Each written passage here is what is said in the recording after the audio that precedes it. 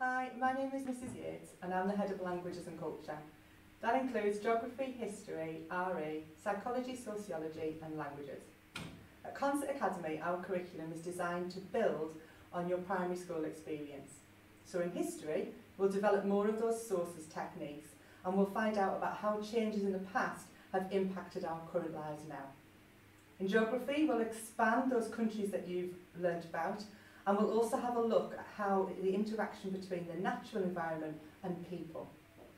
In RE, we'll find out more about the world's different religions and explore some of those moral issues that are relevant to you now.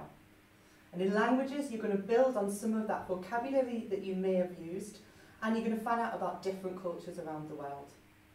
We're really passionate in languages and culture at getting you to have a thirst for lifelong learning. And we encourage you to do this by providing opportunities for you to study outside the classroom. For example, trips down to a river, trips to a museum, or possibly trips to outside of the United Kingdom. We also believe that students should read to really improve their wider knowledge.